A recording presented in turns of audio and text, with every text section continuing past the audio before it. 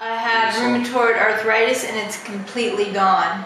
Mm. I'm back for treatment of MS. Okay, why?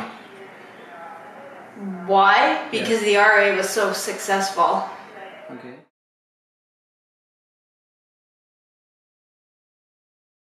It hasn't gotten any worse and it has gotten a little bit better. Like this leg used to drag and now I pick it up and walk. Absolutely not.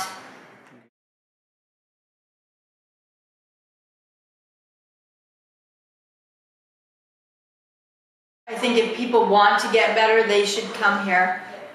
Because what happened here will not happen. I, I'm from Canada, it won't happen. They'll slow the progression of the disease down, but with all the drugs and all the all, prescriptions, it's, it's not worth it. It wrecks your system. It makes you sicker in the long run. This makes you healthy.